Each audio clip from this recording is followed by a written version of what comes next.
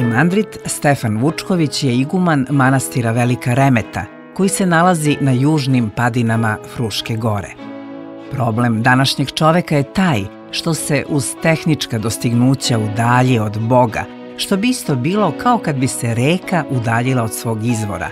Ona bi sama po sebi iščeznula, kaže otac Stefan.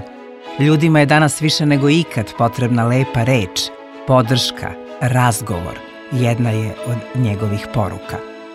Otac Stefan Vučković rođen je 25. septembra 1955. godine na Vučijoj glavi kod Mrkonjić grada od oca Pavla i majke Desanke, oboje rodom iz Bosanske krajine. Pavle i Desanka izrodili su osmoro dece. Treći po redu, po rođenju, otac Stefan dobio je ime Stanko. Pre odlaska u manastir bio je autoprevoznik Tranšpeda i na četiri točka prošao je celu Evropu, Rusiju i Azerbejdžan. Bio je i ratnik u poslednjem ratu na prostorima Bosanske krajine – Posle teškog ranjavanja u Jajcu oktobra 1992. godine, kada su ga ratni drugovi odneli u mrtvačnicu i otpisali iz živih, iznenada je došao svesti. Bio je to prelomni trenutak u njegovom životu. Odlučio je da napusti svet i obuče monašku odeždu.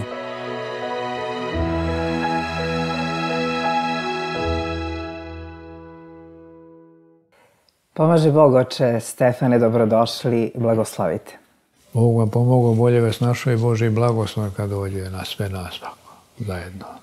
Znate u kom trenutku sam ja osetila taj blagoslov? To je kad ste, mi smo razmenjivali poruke i vi ste napisali uh, u poslednjoj poruci da dolazite na vreme i da će sve biti dobro. Znate koliko je to ispunilo moje srce, da će sve biti dobro. Uh, veliki je značaj takvih reči sve što se na vreme uradi, ono je blagosloveno. Znate, na vreme, jer vreme je stvari mjerilo po kojem mi se mi ovdje u ovom prostoru krećemo i to je stvari na neki način obavezujuće.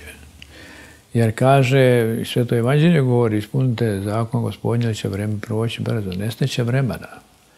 Jer čovjek mora da pređe iz vremena u, u večnost, gdje nema više vremena, nema mjerila ni, niti minutima, ni satima, ni danima, ni sedmicama, ni mjesecima, niti godinama. Znači, zato je potrebno doći ćemo na vrijeme, bit će sve dobro.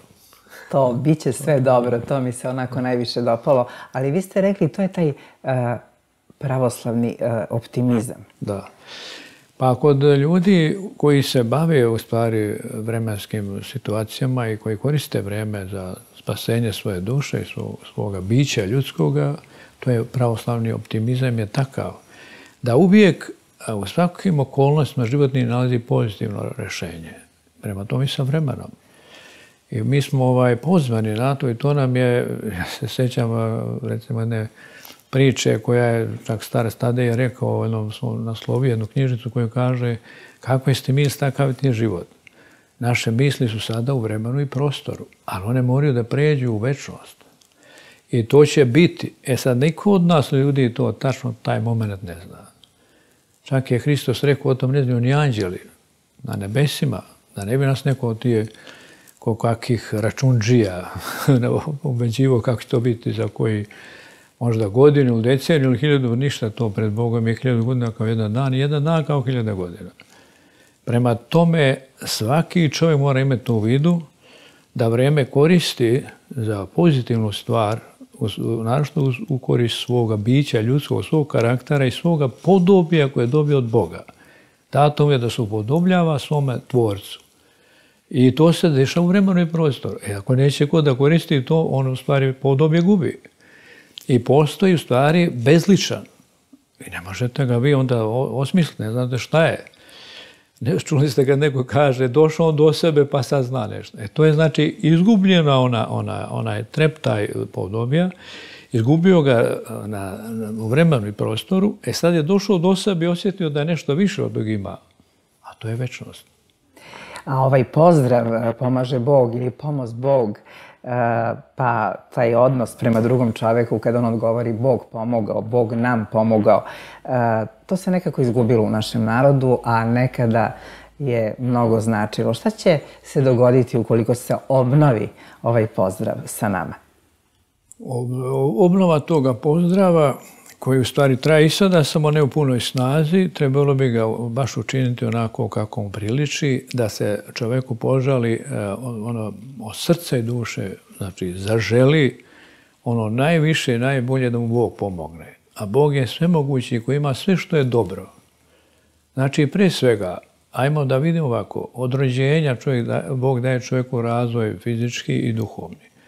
A onda mu daje taj e, karakter da pozdravljajući neku braću ili prijatelje ili susjede i ne znam, čovečanski svijet, ovaj uvijek je govorio pomogu vam Bog ili pomozi Bog. A zašto? Zato što Bog jedini može da vam pomogne sve što treba. Ja mogu nešto da pomognem. Vi možete nešto manje, više, ali Bog sve može. Bog je sve mogući, i svevišnji, i sve uzvišeni i sve znajući. I kad On pomogne, onda ta pomoć ostaje. A šta je to u našem narodu bilo tako zaživljeno da su oni imali svakodnevno taj pozdrav. I u kući, i u preduzećima, i u nekim eh, djelanjima svojim, eh, kao što je voćnjaci, vinogradi, oranice, njive, livade, svugdje naileze ljudi jedan pored drugog, kaže pomoz Bog i ne zna još tog čovjeka dobro. Ali mu je onaj mu odgovara, Bog vam pomogao. E, to je znači pozdrav koji čini čovjeka srećnim, i dugovječnim u vremenu i prostoru, a osjećaj večnosti kroz taj pozdrav je neminovno prisutan. Jer je Bog u stvari onaj koji jeste, koji bješe i koji će doći da sudi žive, mrtve, čine carstvo neće biti kraja. I tom beskrajnom carstvu ulazimo sa pozdravom pomoć Bogu. A putuj s anđelima, to sam ja čula recimo u kućima, u Crnoj Gori, toliko je to divno zazvučalo kada smo pitali nešto, a nama čovek koga smo sreli kaže putuj s anđelima.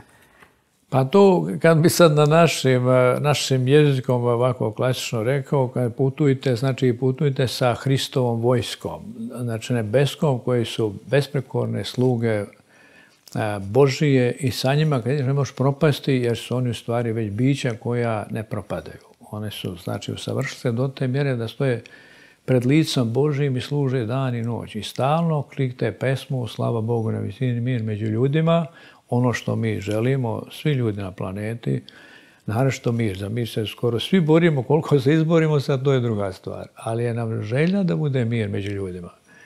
A kad se još doda tu i dobra volja, onda je volja jača od nevolje, pa znači ljudi su sad ovdje pobjednici nad grijehom, nad satanom, nad smrću. I ta pobjeda u stvari očekuje se kod svake ličnosti ljudske. A sad kako će izići do kraja, mi nismo tu i posve sigurni, ali se borimo da znači pobjedimo.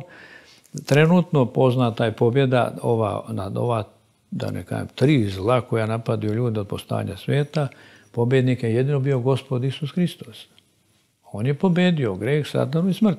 I to praktično pokazao. E sad na nam stoji da idemo sa tom vojskom koja prati pobjednika, sa pesmom, i grmljevno, slava Bogu, na visini mir među ljudima. E sad, ako hoćemo, prilika je idealna, data nama, ako nećemo, onda smo sami izabrali neki drugi pravac koji bi mogu biti jako fatalan i ne, ne bi odgovarao našoj ljudskoj i prirodi, jer smo mi u stvari pozvani na put spasenja, a ne na put propasti.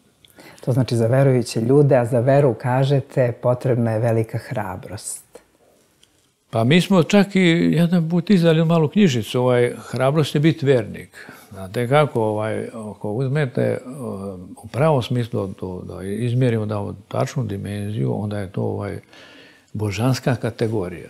Vjerujemo u Boga, a Bog je sve mogući, sve znajući i njemu se obraćamo sa verom, i kad god koju riječ izgovorimo pred Bogom, mi je, on prosto rečeno, pečetiramo verom. Vjerujemo na oče naš koji su na nebesima. Znači, vjerujemo da su na nebesima. Pa da se sve time doje, doje carstvo, to je vjerujemo da će to carstvo doći. Da ne napravimo sad šta, šta je vjera. Vjera je sveta ukupno.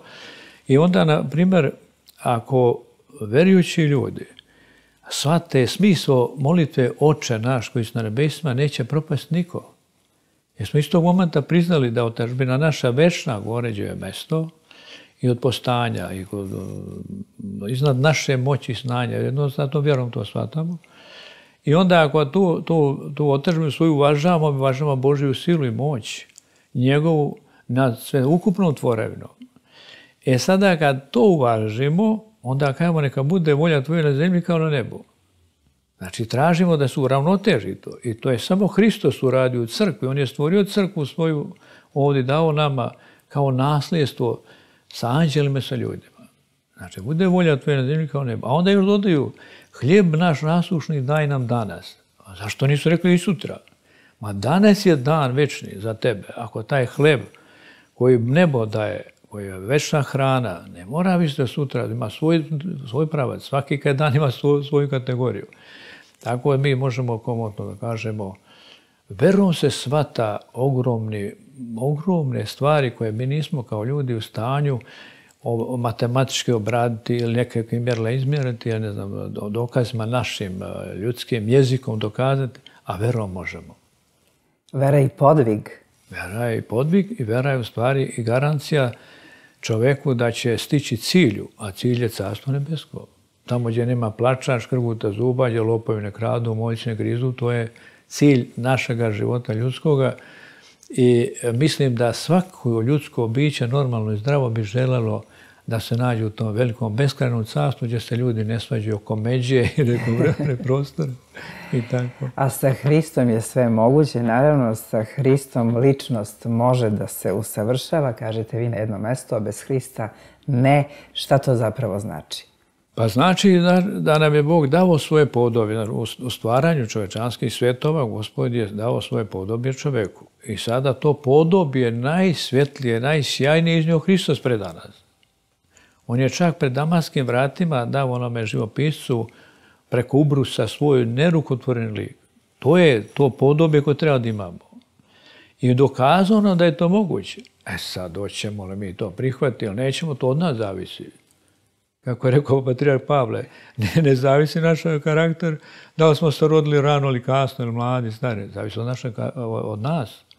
Ako izgradimo u sebi to osjećanje da je Hristos ponudio lik najsavršeniji, najsavremeniji, bolje rečeno jedan lik kojem je leži sve za savršenstva, onda smo mi u stvari već krenuli na put taj koji ne more propasti. Znači... A kome je teže, oče Stefane, da dostigne to savršenstvo, taj lik, e, e, da li vama monasima u manastiru ili nama e, u svetu?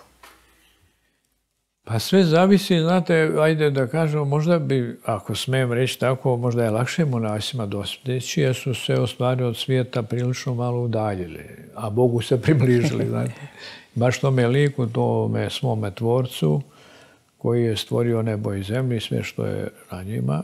Znači, mi bi mogli sad da kažemo mirjani ljudi koji žive u svijetu ome su okruženi sasvim drugim okolnostima i teže je njima izgraditi taj lik u sebi ili koji je već postoji sačuvati nego name, ako se kaže po težini. Međutim, malo prije smo rekli, otprilike ne zavisi to od prostora ili mjesta gdje mi živimo, nego zavisi od nas.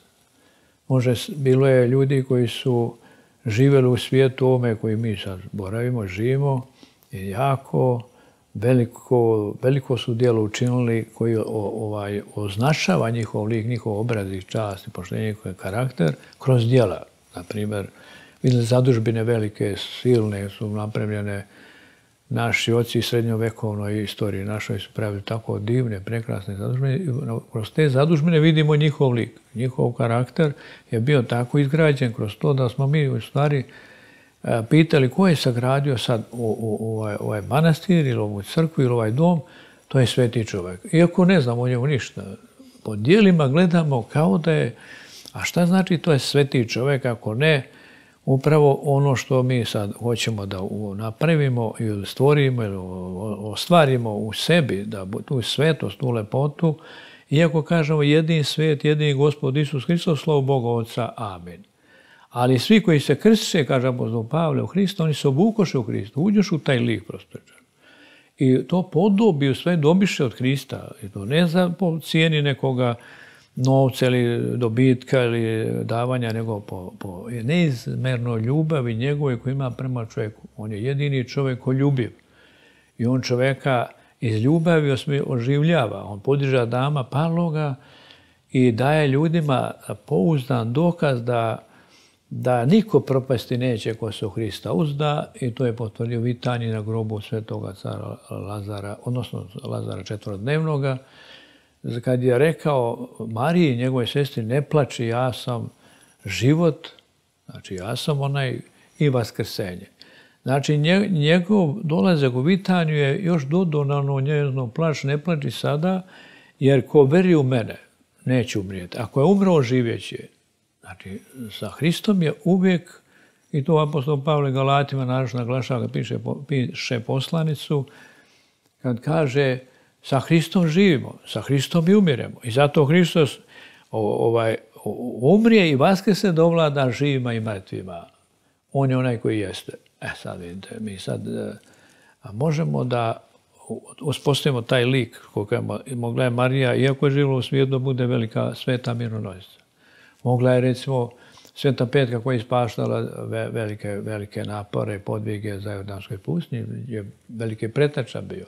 Ili Marija Egipćanka i da ne nabremo. One su stvorile taj lik, iako nisu imali ni manastira, ni, ni gumana, ni gumanije, ali su imali predstavno Hrista. One su znale da će on učiniti za na osnovu njihovog podviga vrat onaj sjaj lepot koji mu Adam pre pada. I zato se one zovu čeri Božije ili djeca Božija. Znači, povratile su taj sjaj baš tim podvigom, tim smjerenjem i prosto ovako rečeno našim jezikom, a te su djevojke stvari ovaj, povratile podobi ono prvo bitno koje je Bog dao od početka ljudima, preko Adama pa dalje. Kad pominjete Adama, koliko ima Adama u svima nama? Pa vidite, pa, prvi pad onaj naše pravca svugdje je ostao pomalo ljudima. I, na kraju se razvio mnogo božačku ovaj, igru i ne zna božačku, tako da je Hristos kao drugo lice Svete Trojice ovaplotio se duha Svetove Marije gdje je postao čovjek da vrati taj sjaj i lepotu paloga pravca našega dama. Za njega se kaže u sveštenom pismu da je to novi Adam. I zato apostol Pavle Korinčanima piše, upozorava i u Adamu svi pomriješe, a u Hristu svi oživješe. Adam je samo duša živa, Hristos je duh koji oživljava. To su njegove reči. I sad ako to imamo pred sebom, nam je dovoljno to za naše spasenje i izgrađenje lika onoga za kojim stalno nekako, kao da uzdišemo. E da sam vratio ono stanje koje je bilo Bogom dano od početka. Pa ima i danas ljudi kaže, pa ti griješiš od početka. Pa to je tačno. Ali ja se trudim od početka da povratim onaj sjaj i lepotu u sebi, ukoliko bude Bog ugodno, zato smo, ovo ste rekli kako monah ili mirjani, znači imamo veću prednost mi u manastirima koji živimo i uopšte pravoslavni hrišćani da povratimo taj sjaj prije i lakše nego drugi ljudi koji nisu još ni krstili se, još ne znaju ni ko je u pravom smislu gospod Isus Hristos. Mislim da bi trebalo da znaju već dugo vremena, 2000 godina se propovjeda Hristos na svim merdijanima, ali ima opet poneko kaže, stvarno nisam još dobro razumio gospod Isusa Hrista. Ali nemam ništa protiv njega. A recimo, dođete reći u Indiji, reći će ti u Kini, reći će ti ljudi u istočnim zemljama koji još nisu svugdje dosegli do evanđelske istine. Oni se bave velikim svetnim knjigama, njihovim koji oni pišu, objašnjavaju filozofiju života, ali ne morate, ovaj, još, ne mogu još da shvate blagodatnu silu gospodina Isusa Hrista, njegovo stradanje da bi skupio rod ljudski od zablude. A zabluda je bila strašna. Navešću primjer, kad prorok Isaija piše jedan moment. Kaže, zamislite čovjeka koji sjeće jedno drvo, jako, silno. Od njega, polovinu njega uzme, pravi sebi Boga, pred kojim će se klanjati, a pola uloži da se ogrije na nekom šporetu. To je tako tužna slika, tako je bilo jako žalosno da je to pokrenulo Božju ljubav da uđe u našu istoriju, u naše vrijeme i da uzme na sebe podobje naše, ono oskrnavljano, isprljano, nakaradno i da ga učini onakim lepim kao što je on. A on je to tražio, zato je došao. On kaže, sišao je s neba među ljude da bi ljude digao do nebesa. Kad ste rekli da mnogi nisu upoznali tu istinu, a, mnogi nisu imali čak ni u rukama to sveto pismo, i, a, a kaže se svi odgovori tamo postoje. Tačno je, evo, kao, ako hoćemo da počnemo kompletnu Bibliju, recimo, uzmemo stari i novi zavjet, nema ni jednog zakonetnog pitanja koje nema tu odgonetku. E sad, ako hoćemo, govorim ako hoćemo. E, imate mnogo ovaj, e, religija, ajde ostavimo naše monoteističke religije su već jasne. One su znali da je Bog jedan i da se slažemo tu i nema problema. Imamo dodini tačaka, hrišćani, jevreji, muslimani se jako dobro razumiju. Samo govorimo o teolozima, ljudima koji poznaju stvar. Onda imate malo one ljude koji ne upućeni pa kaže tu vas nešto nije jasno. Oni kaže, pa pitajte svoje starešine. Znači, pitajte, oni će vam bolje to objasniti. Pa ćete vidjeti da imamo dodirni tačaka mnogo, baš u Svetom pismu. I zato se i slažemo, zato se razumemo na zemlji. Nismo nikada pravili sukob ovaj koji, koji nema rešenja. Desi se neko to napravi, ali pozove verske starešne pitao, pa moramo to riješiti. Kako? Ja se čeka, u Šambeziju kad je rekao jedan muslimanski starešina, ajde braćo da idemo zajedno. Među ljude kažemo, pa nema potreba se svađati, tučete. Evo, recimo, kad je bio kosovski problem neki, ne može to kaj vojska uleti i sve sredi ode. Policija isto ima svoje zadatke.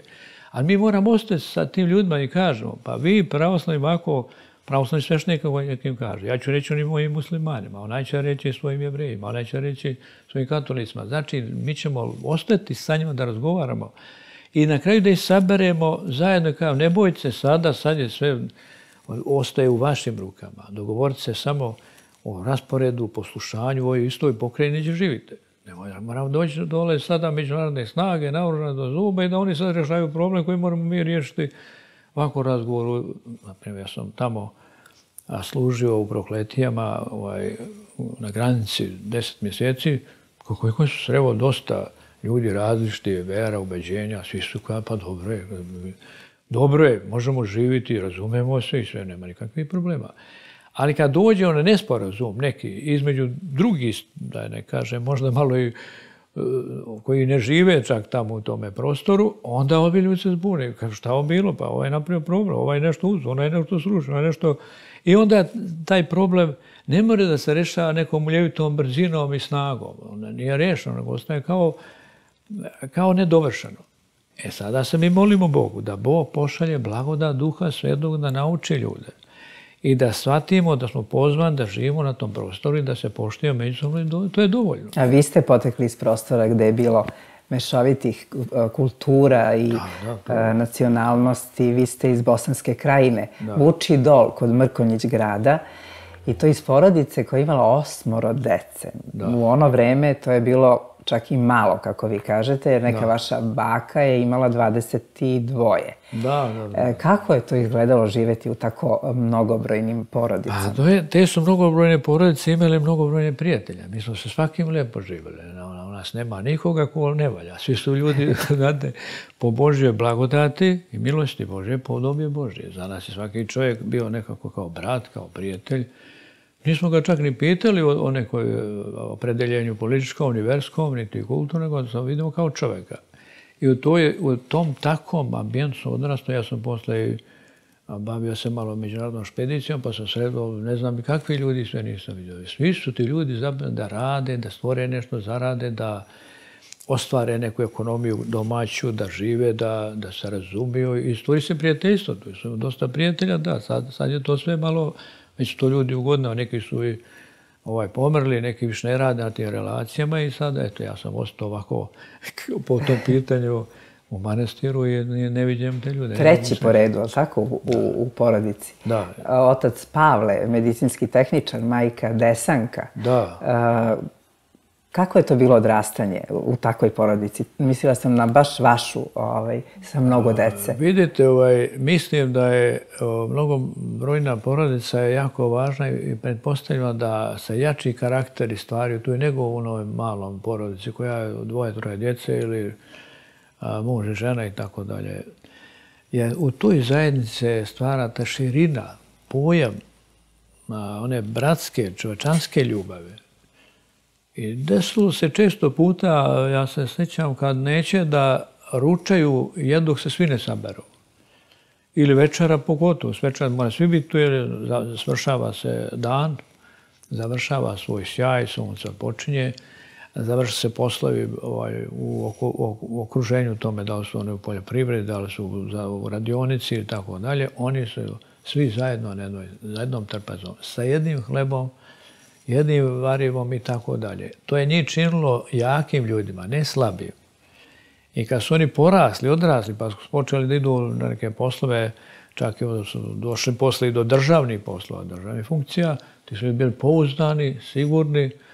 Ako u vojci, to su bili odlični oficiri, ako u crkvom su bili odlični sveštanici, ako su recimo u industriji odlični inženjeri, industrijalci, tako da, da je iz te porodice punio sa sobom to osjećanje da su ti ljudi svi, ako mu je neko počinjen, on ga gleda kao brata, kao, kao prijatelja. On ne mare da zamisli sad da, da on toga radnika progoni ili prezire zato što on nije inženjer kao on. Oni su to pričali, ovako dođu s terena, saberu se, onda ta je bila priča, da su im svi radnici dobri, da ih dobro slušaju, ali mi njih slušamo. Znači, e, zajednica, harmonija je ponešena iz temelja, od rođenja. I zato su oni bili u stvari u svakom pogledu pozitivni ljudi. Jer su naučili u svojoj kući, na ognjištu onome malome, ali velikome, jer se rađali veliki ljudi, a mali prostor. Tu komfora nije bilo, ali je bilo života. Živjeli su, tako su odrasli, tako su stvari većina od njih je normalno očno iz toga kraja. Ovaj, nekako, kako ono poslovica kaže, trbuhom za kruhom. Ali su oni stigli do cilja.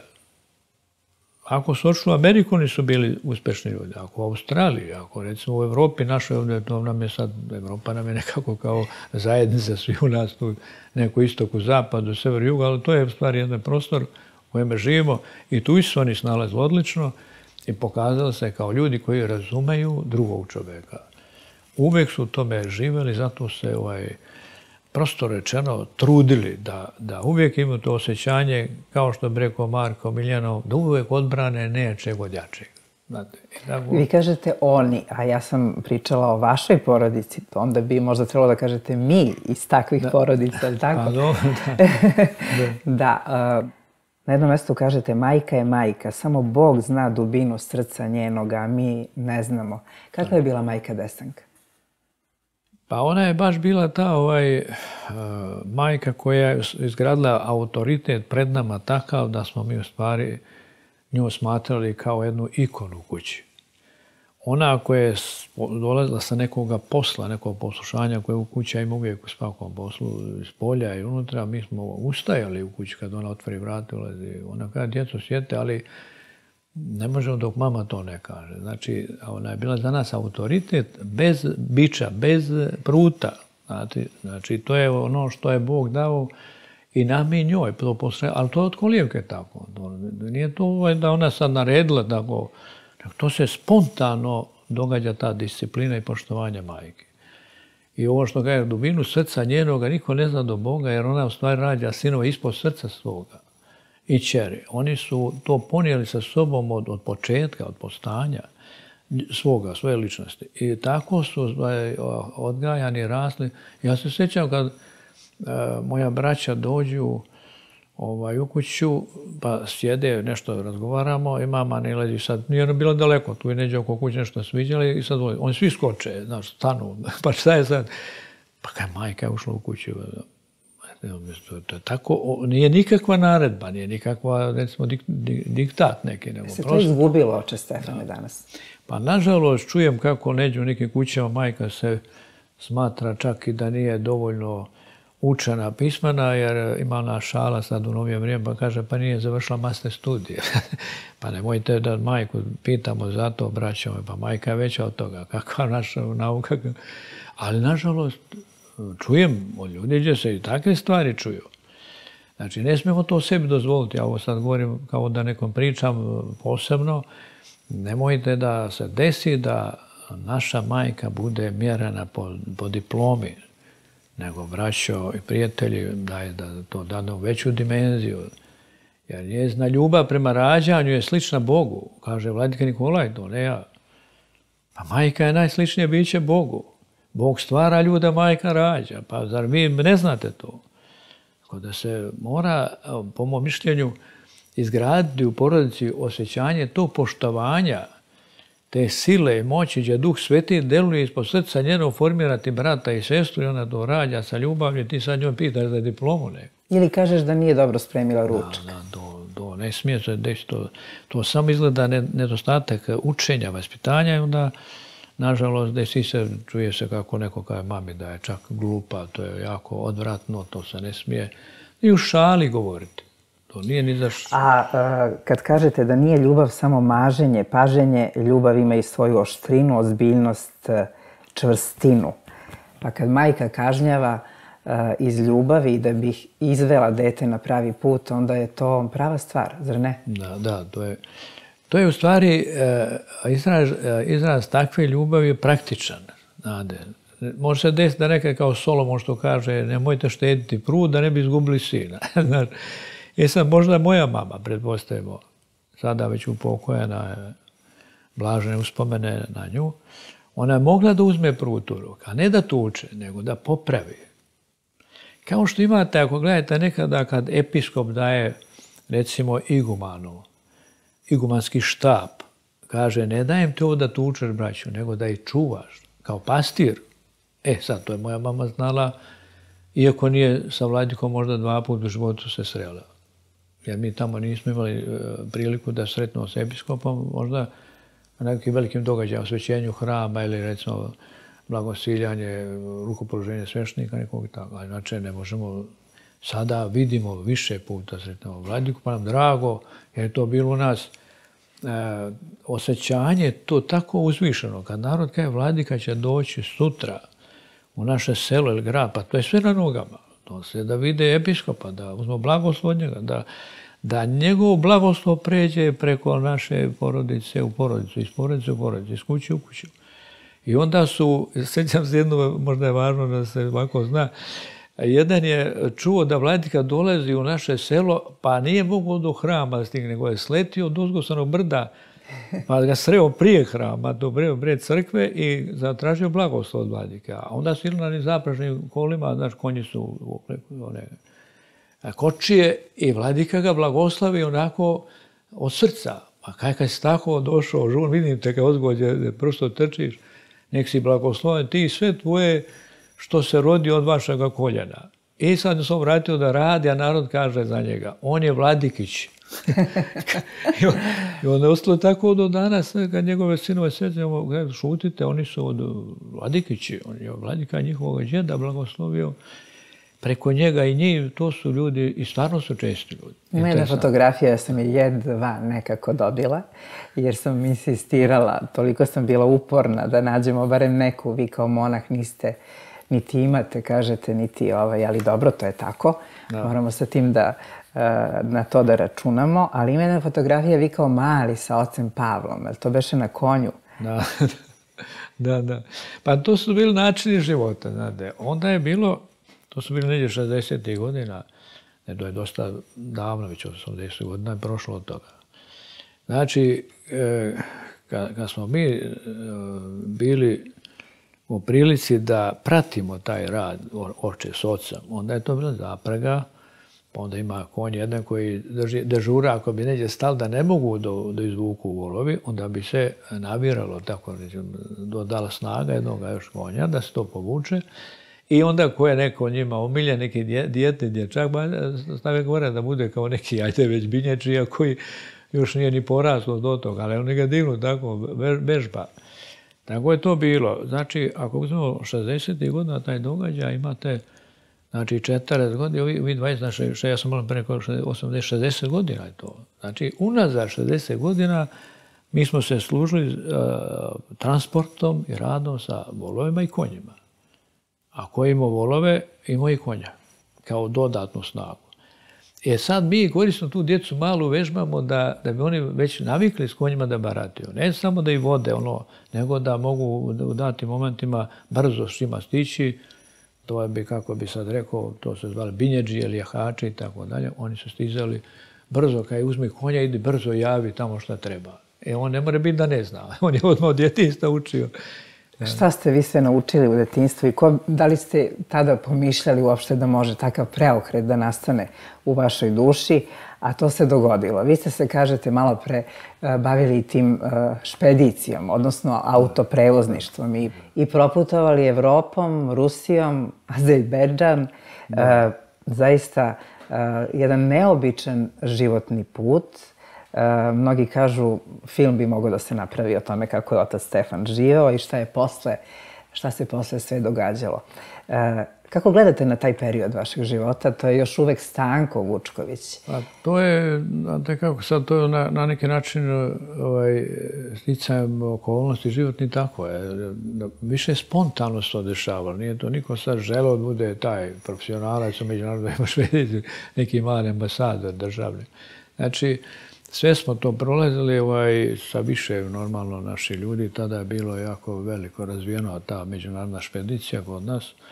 Jer smo radili sa istokom i zapadom, severom, jugom, na sve strane i onda smo mogli da jednostavno te relacije upoznamo i mnogo ljudi toga. Nije to samo sad, ajde da kažemo, pređemo jedan veliki sovjetski savez, pa dođemo prema Pomenuli ste Azerbejdžan i mi smo do Jermenije stizali, ovdje znate njima smo nešto radili. Pa tu je Kaukaz, prelazi se pa se doživljava neki posebni doživljaj se jedno, no, tako, njem, džinom e, između Evrope i Azije. Ali u stvari, šta je u tome najvako zanimljivije? Sresti različite ljude. Nije, me, recimo zanimao ni Kavkaz kao džin veliki između dva kontinenta, niti, Araratske gore na kojem su prvi ljudi posle potopa se naslonuli da nađu kopno i tako. Više me interesuje jermenski čovjek, neko ta dva džina između koje Jermenija stoji. I zato ovaj, kad vidim te ljude kroz, kroz taj naš rad, u stvari tu, tu se dobija neki smisao života i nikad nije dosadan. Znači, ja stalno svaki uh, ovaj, moment e, srećam neke nove ljude, neke nove događaje, a nezavisno od teritorija i ti ogromnih sila, i država i super sila i tako dalje, to je tako kako je. Ali meni više vrijedi sresti jednog čoveka iz Italije ili Armenije, pa s njima popričati o, o ta dva kontinenta istoka i zapade, porečane Evrope i Azije, nego što sam prešao to vozeći neki auto, ajde recimo, nego ovdje. I zato smo mi ovaj, bili u toj špediciji, na primjer, na neki način neki mali ambasadori u našom biću, našoj, našoj državi. Beogradske registracije su bile poznate cijelome svijetu. Mi smo mogli sa tim tablicama da srećnemo ljude koji nam se javljaju i kažu ja sam bio u Srbiji, ja sam studirao, na primjer, sećam se jednog događaja, to je jedan savojski prevoj iznad samog Jerevana, kad je čovjek prišao tu da mi smo tu nešto popravili oko kamiona i on dođe, ma dobro, kad vidim da su kola, govori srpski lep, nego ja, i kaže, ja sam se oženio iz Kraljeva. A da mislite kako je svijet male. To su, to su hiljade kilometara do ocama, svejedno ko da je to. I tu smo malo pričali o tome kako on studirao u Kraljevom poljoprivrednom fakultetu i tako dalje.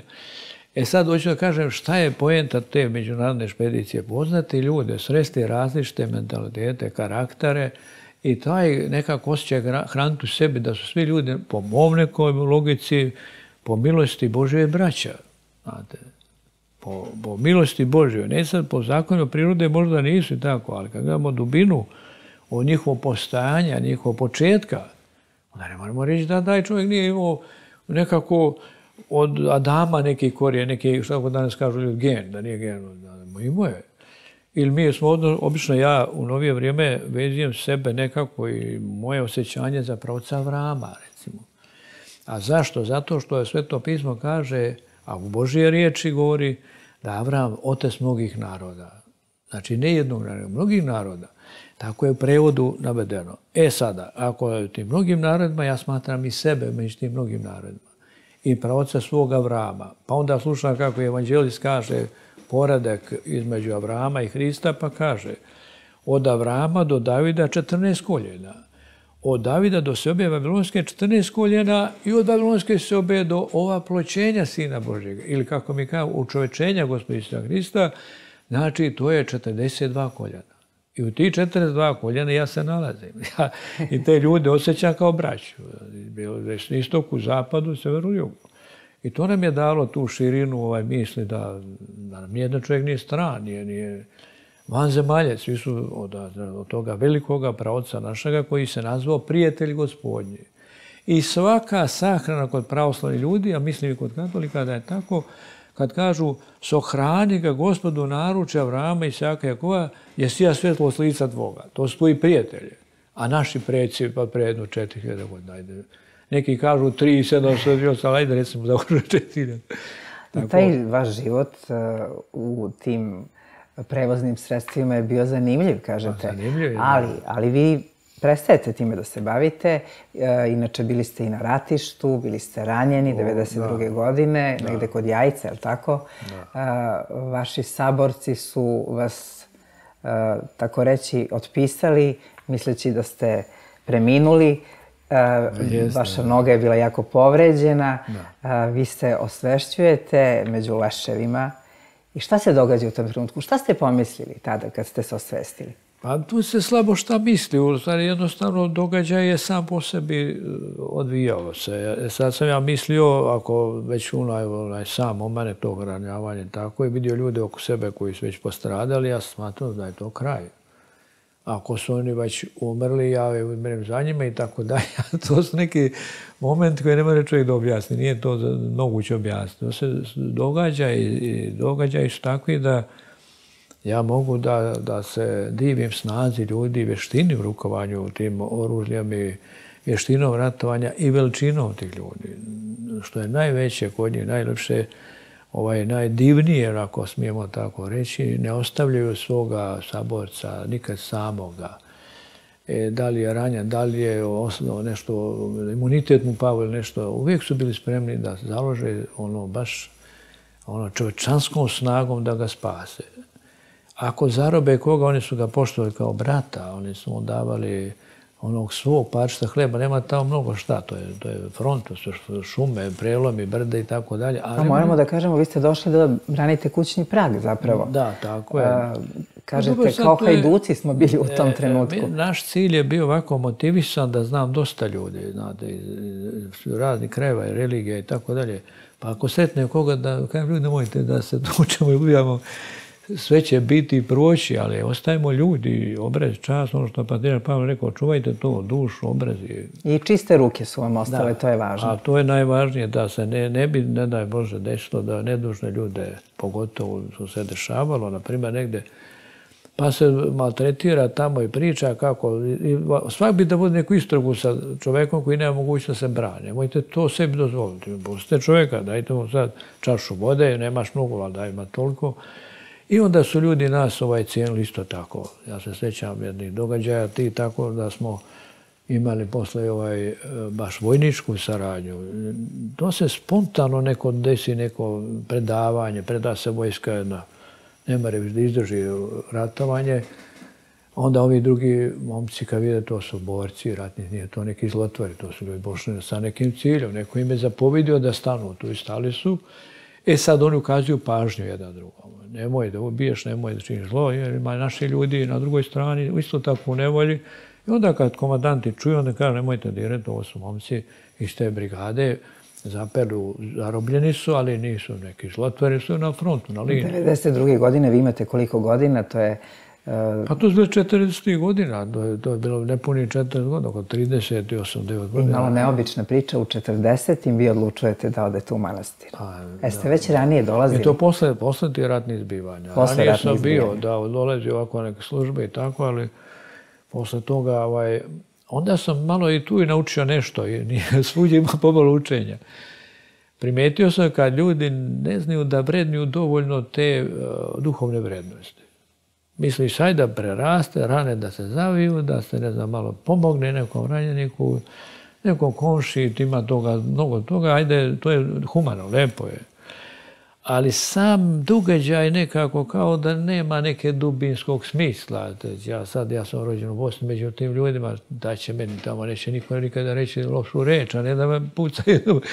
Ja računam sam onda to napravio neko pomirenje da ne ide dalje. To može, da se ga sad uzme Oružje je oružje. U svakim rukama ima što kaže Patrija Pavle, puška je uvijek koja puca, a na koda je kudi usmeri tu ide. E sad ja ne bi na primjer, dozvolio sebi da pucam na moje prijatelje s kojima sam ja ovaj, radio tako dugo vremena, s koji su, koji su mi valjali često puta ovaj, u životu, ja njima i tako, nema smisla šta će Tako da ta, ta ratna igra u stvari nije nekako bila meni simpatična. Ona je nekako bila, po mom mišljenju, sve mi se čini da je moglo bez tog. Tako mi je išlo u, glavi nek, nešto je tako se dešavalo. Nemam, ne znam zašto mi sad, da tu s kime, kako. Sjećam se kad je Ali Izabegović rekao, kaže, pa Bosna se ne more dijeliti da je to ko leopardova koža. Gdje koji zakon neko češ kuću posedni ili podijeliti. Ma to dijelimo to. Šta je to mala država? Može ostati cijelo pa da se dogovorimo. Bilo je u muslimana dosta i Srba koji su govorili da to mora biti građanska država i doviđamo šta sad imamo, to je da se svađamo i tučamo, ali nekako iz neke političke druge igre, drugih uglova nije moglo. I te, sad imamo ono što imamo sad tamo. Molimo se Bogu da Bog sačuva mir među nama. Biće država i granica i promjena, ali čovjek bi trebao da sačuva svoje dostojanstvo, onako kako su nam preci veliki radili, znali su da cijene protivnika, znali su da kažu dokle smiju da idu dalje, neće, to je, do, je neka vrsta granice, ali to ne znači sve van, imaš onaj dokument, mislim koji je čitao poslije Velbužde, Velbužda i bitke, kad Stevan Dečanski, kralj, kako su ga oni zvali, kralj Uroš III, on je, on je napisano pismo u kojem je kaj, ba bez obzira pobjedu, ajde da sad radimo sad, ništa nećemo sad sjediti. Znači, molili smo da ne bude tako, zamoljavali jedan drugi, nešto se desilo, ajde potuk, tamo bilo je taj aršum veliki 1330. godine. I šta smo sad napravili? Zemlje ima vamo, vaši ljudi koji posjedaju u našoj granici. Naši imaju opet posjede neke u vašem dijelu. Daj ministar spoljnih posla dođe kod nas malo dogovorimo da to ljudi rade, da ne stoje. I on rekao, je, već sad ste mi krivi, daj sudije, daj, ne znam, tumpanje. I tu je pokazalo se da su oni imali ipak neki bolji sluh nego što ja sad imam. Znači, cijenili su to junaštvo, ako moram reći, bitku, ali su cijenili slobodu, da ljudi mogu rade svoju zemlju, da obrađuju, plaćaju porez normalno državi u kojoj žive, poštuju državno uređenje i to ne smije niko da i dira, ovako da, da zlostavlja, prezire i naziva i grdim imenom, ne to. A to je sve, sve sveža tu istorija. Ne moramo sad da kažemo, pa to je bilo pre 700 godina. Pa šta je 700 godina pred godina? Pred istorijom to je kao jedan dah. Ako, ako je evanđelje kaže da hiljadu godina kao jedan dan, pa da šta je sad ti naši 700 godina? Ali oni kažu, znaš, bilo je to tad, nekako ljudi su imali dublje razumevanja, rasuđivanja, pa mogu mi danas imati tako. Ali kakvo je bilo vaše rasuđivanje kada ste odlučili da prekinete sa tim životom i da, da krenete potpuno drugim putem? Pa ja sam smatrao da čovjek više vredi nego što ja ono vidim i osjećam. I morao bi naći tu vrednost, pronaći negde. I sad to je bila odluka da to može da se nađe u monaškom obrezu.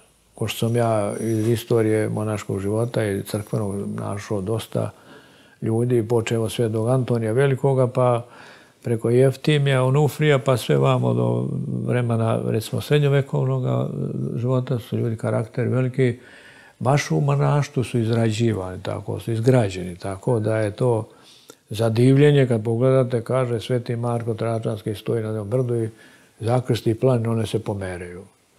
Ti znam, se, pa to je čovjek, znači, stigo do do blizine Božje blagodati sile. To ne mere čovjek da radi, to je Duh Sveti radi. Ali na zahtjev, da dokaz da se proslavi Bog među ljudima, to je dobio Marko.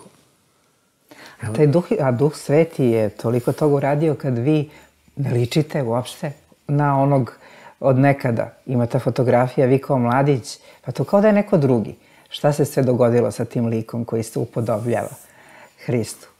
Pa da, to je sad, vidite, ovaj, ja sam tražio kroz, kroz život, osjetio da, to, da, da taj pad, malo bez smo rekli pravca Adama, mora da se ispravi u nekom od nas. Međutim, Hristos je to donio pravi original i kazao ovako možete. E sad, kad su ljudi shvatili njegovu poruku, njegovu, njegovu želju kao Bogo čoveka, da izgledaju sebi istovremeno savršenog Boga i savršenog čoveka, on je nama ovaj, postao već odmah ono vrijeme ljudima uzor. E sada kad, kad, kad e, sagledamo te karaktere od tog vremena preko ranog srednjog vijeka, je počeo četvrtog vijeka, je bilo najviše turbulencija u crkvi kada se dolazilo do take otpadije da je car Julijan poveo čitavu jednu carstvo protiv crkve. Pa onda se postuju, do, do, doslovno seća se taj Persinski rat, pa je tamo pavo s konja, udarilo ga koplje, slomio se i tako dalje. On pada i kaže, Nazarećane ipak sme pobedio. Znači, ne kaže on Persijancima, pobedili ste me. Nego on kaže Nazarećane, to je malo poniženje ovako za Hrista da ga nazove, ali dobro. E sad, taj pad, od tada počne da cvata drugčije crkva ide brzinom. To su arhijerijski sabor i vasilijanski gdje se ustanovljava vera, ispovedanje, gdje se poštije poredak, red, struktura vlasti nastaje crkvene, strukturalno gledano, tamo smo uspostavili i patrijarhat, i episkopat, i metropolije, i arhijepiskopije, i to su ovaj, starešine e, pojedini jedinica crkveni kao parohije, kao namjesništva, pa onda i u manaškom obrazu tu su igumani, ne znam, arhimadriti, starešine, manastira. Znači, odatle izgledu ti karakteri velike kao što je kod nas, na primjer Sveti Savo. Ako ćemo u našoj istoriji, najsvežiji događaj koji je mogao da tako silno napreduje u tom baš monaškom obrazu, ne samo radi sebe, nego i radi nas. I on je mali Boži čovek, recimo, u odnosu na Boga, ali u odnosu na nas on je velik. Pa ga čak crkva naziva ravno apostolni. Pa onda je jedan istoričar rekao, taj veliki slavni čovek na Atosu se pozvao tako da svoje kože skrojio sebi u panke. Znači, to je za nas nepojmljivo, ali se tako desilo. I ta ličnost koja je neprekosnovena u srpskom narodu, on u stvari pokreće svu tu jednu čitavu, ne generaciju, nego generacije ljudi da mogu da budu ako hoće. I onda ta njegova lepota duše unutrašnja koja ne može sagledati ovim smrtnim očima, ona nas u stvari otoko kao da ozari, kao da osvjetljava i on je i nazvat prosvjetitelj i učitelj. Ravnoapostolni čovjek. I sada on uzima sebi za uzor one oce kojima smo govorili, svetog Antonija Velikoga i Onufrija i Makarija i tako dalje. On, on, te ljude uzima sebi za primjer. Iz toga primjera on gradi svoj karakter do te mjere da vi sada na Svetovoj gore Atomskoj kad dođete bilo kojem manastiru, Znaš što veliki manastir, Vatopedi, Pantalemo i tako dalje, vi se vidi tamo gdje kažu, pa ste vi, ste vi Srbije, ste vi Svetoga Save, deca, duhovna u I ne samo tamo, Sveta zemlja, pa, Jerusalim, pa, tamo također, to su putevi njegovi bili. Tako da, ali to su isto vaši uzori i vraćam se na vaš životni put i vaš ulazak u manastir Veliku Remetu, gde je vaš prethodnik iguman e, Danilo. Inače, za Veliku Remetu, koja je zaista jedan od sada 20, kažete, jel tako, manastira na Fruškoj gori, na jednom mjestu sam čula da su tu dolazili monasi da bi ispravljali svoj životni put. Tu su važila neka strožija pravila. Je li to tačno? Onako kako piše u nekim sačuvanim dokumentima, jer Remeta je bila nekako kao neki bočni manastir, neki, kao metoh, što, ali nije, nije imao taj status, ali tako je. Znači, ako bi neko ne bio poslušan u Krušedolu, koji je najvažniji manastir na Kruškoj gori po istorijskom značenju, ili Grgetov koji je sad najuređeniji, naj, najlepši, najsređeniji, ili Hopovu koji je po snazi već nauke te do svite posebno se tamo pominja, ali i sveti Teodor Tiron koji je 1700 godina ima mošti svete E, znači, tu ko ne bio poslušan, da kaže, slušaj, nemoj da ne budeš poslušan, da ne bi u remetu očeo. Znači, remeta je bilo malo u siromašnijem stanju, nije imala neke velike ekonomije i nije imala nekog velikog brasta. Posto samo su bili oni koji bi eventualno ne bi slušali igumana ova tri manastira, imao je ostupnicu u remetu. I iz, tog, iz te perspektive gledano, nisu bili dobri ljudi i vrijedni, nego u nečeme e, nije ispunjavao zadatke ili zapovijesti ili naredbe ili recimo poslušanja svome igumanu, onda ga premjeste vama i ovamo se potpuno, prosto rečeno, e, izmijeni njegovo vladanje i postaje čovjek veliki isto, pa ga zavole, postaje krušedovski iguman ili gargetački ili hopovski i kaže ide u remetu, vidite, iguman je dobro, ali mu nedostaje malo pa neke stvari, da mu pomognemo da krene taj manastir. Tako da i pa remeta je bila ponekada i utočište, na primjer, ima podatak jedan gdje su iz manastira Rača na Drini imali kritičnu jednu situaciju, smo morali stupati iz manastira, on se povuk prema remete. Pa onda iz manastira ovaj, ovdje Rakovačkog u Beogradu, isto ima jedna situacija, bila kad je to, čak mislim da je bilo u 17. vijeku, da su morali isto pristupiti preko Save, prelazite vamo da se malo spasi. Remeta je bila kao prostrena, ali ne tako ekonomski jaka i dotvarana, sređena, pa su oni onda tu mogli da se bore, da malo, na neki način organizuju život, a za kratko vrijeme se onda vraćali svojim manastirima i tako da uvijek imao. Čak imate ovaj, e, podataka gdje su se bavili prepisivanjem do ljudi. Radili su prepise, recimo Mineje, pa čak oko to ih, jedan se pominje tu je prepisan, ručnim prepisom, nije bilo sad nekih štamparija. I na kraju imate, ja mislim da u našoj monografiji ima tu ubačen detalj kad su prepisivali 1580. godine evanđelje. Bilo je tu ljudi, kako mi kažemo, od pera i olovke. Ali nisu imali neku ekonomsku vrednu snagu kao što bi bio neki manastir jači, onda, onda oni su to živeli sa braćom u velikoj slozi ljubavi, sa Košedolom i Grgetekom i Opom i oni su mogli onda da žive. Imali su uvijek po nešto malo dobiju, nešto malo i oni skuće u svome tome siromašnome delu je bila zemlja im je bila mala klasa, znadeš. Nije bilo ono prve, druge, treće, čak išlo do sedme, osme, onda ne mere tu i da uspije nešto Toliko toga ima vezanog za manastir. To bi trebalo čitava emisija da bude posvećena od istorijata do priče o velikoj remeti i uopšte o fruškogorskim manastirima. Moje kolege to inače i rade, ali mene zanima ta vaša lična priča i to koliko ste vi, a vaš prethodnik također, Iguman Danilo, Eh, ostvarili taj kontakt sa narodom, koliko eh, vi i misionarite, koliko knjiga izdajete. To je jedan potpuno novi život eh, velike remete, a vi ono što ne volite kad se kaže, ali ja moram da kažem zaista, čuvena rečenica, jedan od omiljenih duhovnika u Srpskoj pravoslavnoj crkvi. Ja se uverila u to jednog dana kada sam bila u crkvi Svetog Marka. Prvi put vas vidim i kažem, Bože, ko je ovo? kad onoliko naroda oko njega, svi da ga nešto upitaju. E, kako je uspostavljen taj e, kontakt, e, tako blizak sa narodom i toliko naroda hrli ka vama? Pa to je najviše u novijoj sad istoriji našeg vremena, što je savremenog doba je prvo Iguma Melentije Babić koji je imao tu srećnu okolnost da manastir nije bio ništa zadužen, nikom, ni prema državi, ni prema vernici, bio čist račun, njega bio uvijek je saldo 0-0, znači čisto. E na to je onda, posle onog drugog svjetskog rata, nisu ga primili gore u manastir kad se vraćao. Ne znam zbog čega, nije navedeno, verovatno neka vrsta političkog igranja. Onda je došao posle toga čuvani naš iguman Danulo Zdravković, blažno počivši, veliki čovjek, nesumnjivo i onda je on to sve započeo. On je obnovio neke delo manastira, on je ovaj, oživio manastir taj i u stvari dao mu taj duhovni ton. E onda su dole za ljude vide ko je Danilo, ovo što i kada ko je ovaj čovjek.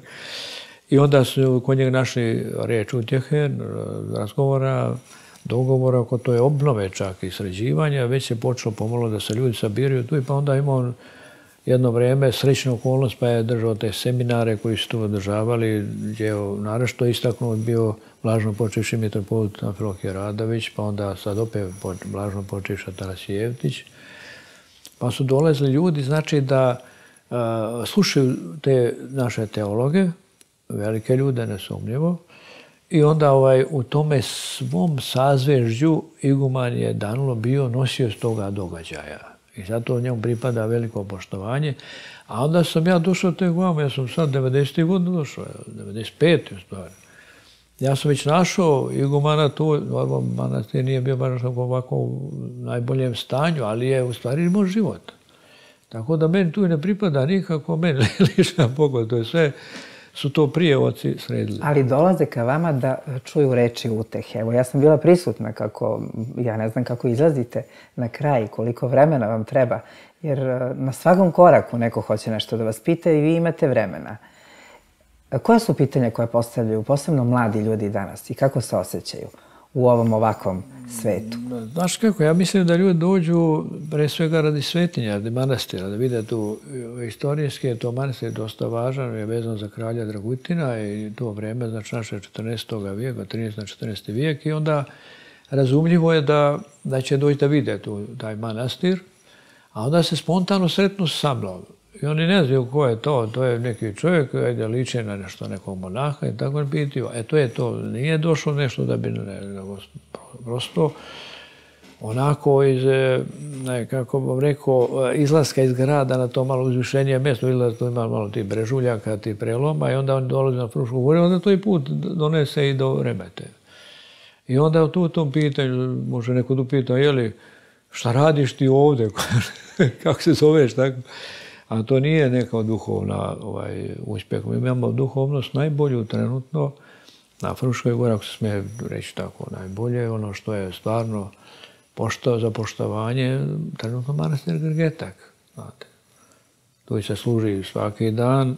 Pa i kod vas se služi svaki dan. Pa služimo, mi nismo dorasli do te visine. Mi smo tu i samo, ajde, ovaj, služim, ali govorim tamo gdje se ne gasi kandilo, vere i službe, to je Virgetek. Onda Grušedol, Hopovo, Jazak, ti su manastiri, recimo, koji stvarno ovaj, i ostali normalno žive, ali tako silno i moćno da smo mi, mi smo tu i samo onako kako bi rekao, kao neka dopuna, ako neće zapre nešto malo, mi smo tu neka, nismo u, tom sjaju, to je ponoć, treba nam još vremena da bi mi uspostavili takvu jednu duhovnu ravnotežu kao što već ovi manastiri imaju. Kad vi kažete na jednom mjestu u knjizi Car slave dolazi, ne možemo danas za otačbinu da se žrtvujemo, deca kržljava, nemamo te duhovne snage i sile koju su naši preci imali. Pogledajmo Lazarevo potomstvo, to nisu ljudi.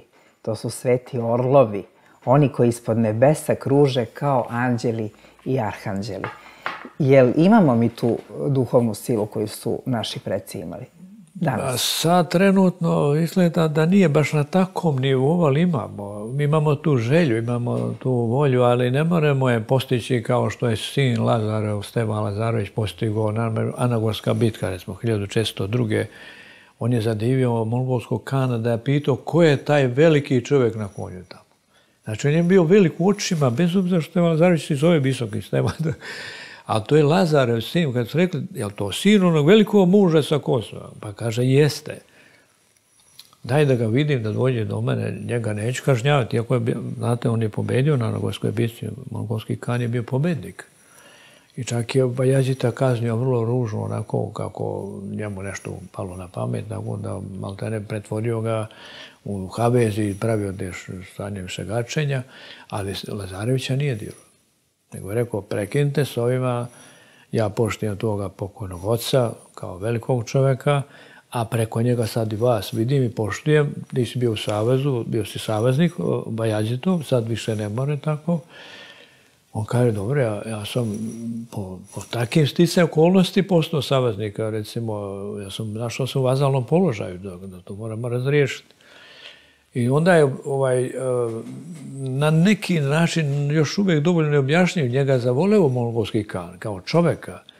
I on se u Carigradu svratio kod patrijarha i mu dao dostojanstvo despota. Više nema vazalnog položaja, on je sad vladar, on vlada državom, cara Lazara, kao sin njegovi, carica Milica, njih dvoje vladaju državom. Tako da je u stvari ta orlovska snaga duha, kao kad kažemo za sveto Jovana Bogoslova, on piše evanđelje orlovske visine i simbol njegove evanđelje orao. A ko su današnji ti takvi e, e pa, ljudi? E pa danas mi nemamo, to, to je teško danas naći. A zašto je to teško naći? E pa vidite, kad opane ovaj, požrtovanje za vjeru, a to je znači post i molitva, isto molitva i duh opada. I mi nemamo te, te orlovske sile i snage koje imao Stevan Lazarević kao mlad momak. On je pošao jednostavno iskreno sa bojažnom kao sa prijateljom da se bori, jer već mu je bila i sestra tamo ovaj, u Haramu, Olivera i tako dalje, s toga Zetom. I, znači, oni su pošli takvom silinom, takvom snagom da se bore. Međutim, to, taj duh dobiti, tu snagu i silu, ne more bez požutovanja. Pa sam je, pazite, sice kad Gandhi savjetuje svojim indijanci, pa kad kaže, slušajte, Vjera bez požutvovanja je u stvari samo jedno vašarište. A ljubav bez požrtvovanja? tu i se ljubav rađa. Znate, ljubav nije baš tako jednostavna. Ima ona svoje zahtjeve. Ljubav stvari pokriva se pravodnoć. Mora biti pravodne, mora biti podvižnik. Jednostavno, postoji molitvo da dokaže sebe kao velikog čovjeka u Bogu, u Hristu. Jel to važi i za brak? To važi i za brak i za zajednicu brašno. Ja mislim, nijedan muž ne mora imati srećan brak ukoliko nije požrtvovan za taj brak. Ne mora biti glupa sad stvar, ne, me bukvalno ne stvari da pada u nesvijest tome, ali da ipak pokaže dostojanstvo, da svoju ženu uvažava kao ravno i sebi, po časti i dostojanstvu. A ne mora ona sad da bude neka posebna titula, zvanje, pa da se ja tek onda, evo ona, zna moja žena nekom položaju, pa ja nju volim. Ne, ja nju volim kao ženu. A maš me briga za položaj, sutra se tu nađe kad smjena smijeni se, pomjeri se, prekomanduje se, pa i ostari se, ali to je večno, večno poštovanje. To je muž prema ženi, a žena prema mužu? Isto tako, ista mjera. Jer se njih dvoje stvari, ako gledamo iz perspektive ono kako je sveti zatvornik govori o tome, on kaže, ako žena voli svoga muža, ljubav njezina jača od straha od njega što, što apostol Pavel tamo kaže da se boji muža. to nije u bukvalnom smislu. Da, ali, vidite, da, ali pazi, apostol je u pravu tu, nije on ništa tu je pogrešio, nego, nego sad govorimo kako ovaj, ide iz ove perspektive, kad svetujući posmatruju taj brak, onda mu daje je taj ton zajedništva koje je nerazdvojivo. Vi ste dvoje po, po prirodi stvari, a po blagodat Božju ste jedno. I sad to jedno ne smije da se razdvaja na neke diktate, diktature ili uslove i tako dalje. To je već završeno. Jer kad je vas venčao svešnik, on je vami stavio venca na glavu i stavio, to su trnovi venca, ali mi malo ukrašamo kao neke krune. I kažemo, uzviš se ženiče kao Avrar, budi blagosloven kao Isak, razmoži se kao Jakov, hodeći u putom zakona gospodnjega. A i ti nevestu uzviš se kao Sara, razmoži se kao Reveka, razveseli se kao Rahilja. Znači, to su žene naših pravotaca, malo pre smo pričali o njihovoj veličini, da bi ti mogao poslije tog uzima krš časni i kaže gospode, slavom i čašću vjenča i kum kaže amin. I sad ta slava i čast ne smije da se razvodi i da se rastavlja. Ali to se dešava, oče Stefane. Tamo gdje se dešava, to će biti kazna. Kakva? Kazna će biti takva da, da neće imati ženu. A nema veće kazne nego čovjeka odvojiti do njegove žene zbog nekih, ajde da kažem, pijačnih priča. Nego zato je trebalo, po mom mišljenju, shvatiti onaj moment kad ih sad vodi svešnik u krug, pa kaže Sjati mučenici, že dobre stradal često vaše i vjenčaše sja. Znači ovdje pozivaj kao mučenike da se venčaju slavom i čašću, znači da se venčaju trudom i ljubavlju prema braku. Jer je to mučenje, to nije lako. Ali to mučenje ima svoj venac večni, ima svoju veličinu pred Bogom i pred ljudima. Zato se nekada i ljudi čuli kad kaže znam ja kako moja sestra živjela u braku, teško je, ali svaka je čast, sad je velika žena izdržala do kraja, evo je ženi svog sina, evo je krštava svoje unuče, evo je sa praunukom šeta. O, pa slušajte, ono, sva muka što je početak bio svjati mučenici, jer dobro je stradali čestovaše, oni za dobro stradaše. I zato muž i žena se pošti u našem narodu je bilo reči, bilo i praktičnog ponašanja. Kad najde žena s mužom u blagoslovnom stanju, ona je ustane, skine kapu i sačeka minut dok oni prođu. Ništa ne govori. Pa ga pitaju što, što sad stojiš tako? Pa vidiš kad žena da ide u blagoslovnom stanju. Ona nosi dijeta, nosi novog čovjeka, novog cara, novog kralja, novog patrijarha. Aha, ovaj sad onda već malo slegne misli, kaže Bože pomozi. Znači, poštovalo se jer se na taj način stvaraju novi ljudi, blagorodni ljudi, koji će uspostaviti ravnotežu među ljudima, koji će voleti oko sebe ljude, koji će se radovati životu, a ne kukati, vikati svaki dan, ovako se ne bare, e ovo nikad nije bilo ovako, ma, a ma nemoj kad ne znaš nešto, bilo je gori dan. Da li bismo mogli da razmislimo i o tome, recimo da možda treba premestiti taj, to težište, taj centar interesovanja. Ukoliko sam ja e, centar, to nekako čini mi se da ne valja, ne znam šta vi mislite o tome. Ali kad premestimo centar na drugoga preko puta mene, pa recimo muž kaže šta li moje ženi danas treba? Kako li bih mogao da je učinim srećnom? I ona isto tako. Tu je negde možda rešenje, ili što bi naš patrijarh rekao, kad je Bog na prvom mestu, onda je sve na pravom mestu. Onda je lako, da. Pa evo, baš tako, ako, ako gledate da muž i žena se ne razdvajaju u svakom pogledu, u duhovnom i fizičkom, znači oni su jedno i ta je jednina ne smije da se rastavlja, da se rasjeca popola. Ne znam ko je rekao, ali vrlo oštru reč u razvodu, kad se razvija, nek čovjek pita što se razvodi sa ženom i žena s mužem. Pa znam neke razloge sitne, ne znam, nije nešto, računi nisu u redu i tako nešto više potrošeno nego što je zarađeno, dakle na sitnjuri. A on kaže, znate šta, prorok Mojsije je dao u svom zakonu dozvolu za razvod samo u brakolomstvu. Ništa navodio ni ekonomiji, to samo brakolomstvo. I kaže Hristos, to mi je Mojsije dao zbog okoralog srca vašega i vratnosti vaše. A pre toga nije bilo. Bog što je sastavio čovjek da ne rastavlja. I taj temelj koji je Bog postavio, mi smo pokušali polako, ali ono kao, eto, znaš, ne može se dalje, pa ja sam rekao, žena... Ili nema strasti, kažu, više. znači, ne možemo dozvoliti sebi, radi nekih sitnica, radi čak nekih priča i tračova, da kažemo, žena moja više nije za mene i ne znam, ona ne zna da poštuje pravila neka kuće, njega i tako dalje. Pa ti tu i da učiš. Ti si, ti, si muž žena uče to. To je ceo život je nauka. I zato odlaze iz ovoga svijeta kao, kao da nisu otišli. Preleze. To je kod male djece čuli ste kad kaže je li mali, gdje ona tvoja baka, ne vidim je dva, tri dana ili pet. On kaže, otputovala je.